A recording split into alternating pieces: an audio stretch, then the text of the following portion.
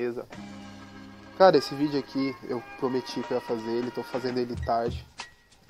Tá, tô. Vai ser naquele esquema do. O argumento é pobre, mas a missão é nobre, tá? Porque eu não tive tempo de preparar nada. E vai ser de peito aberto. Vai ser de coração aberto. Então eu vou dar minha opinião, tá? Sobre a pena de morte. Lembrando que eu vou deixar bem claro aqui, eu sou contra qualquer tipo de pena de morte, tá? Como um ideal, beleza? Eu acho ela necessária em certos pontos, mas como ideal não, tá? O meu ideal é prisão perpétua, tá? Para esses casos que eu vou citar agora.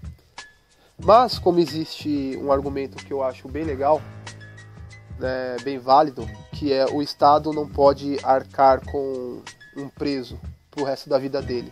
Né? Isso causa um, porque todo preso gera um custo, né? Então, estados um pouco mais pobres não têm dinheiro para arcar com isso aí. Então, nesses casos, eu acho válido a, a pena de execução, né? Ou pena de morte. Nesses casos estritos, tá? Mas não é o ideal. O ideal seria prisão perpétua, tá?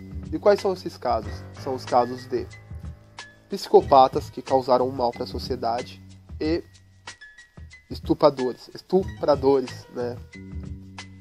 Beleza? Porque esses casos né, não tem não tem ressocialização, cara, entendeu? Tipo, um psicopata que faz um que causa esse mal, né, que mata as pessoas ou então que manipulam pessoas, ele acostuma com isso. Né? Por exemplo, tem um episódio do Sobrenatural que eu acho bem legal. Sobrenatural é um seriado, né? ou Supernatural, né? Supernatural. É... Vocês devem conhecer, mano. Tá, vamos lá. Tem um episódio de um monstro que chama Rugaru. É, o que, que ele é? O Rugaru é um ser humano, ele tem a aparência de ser humano, de humano normal. E quando ele chega por volta dos 30 anos, ele começa a sentir fome de carne vermelha, muito grande. Né? E quando ele mata uma pessoa e come a pessoa, ele se transforma nesse monstro.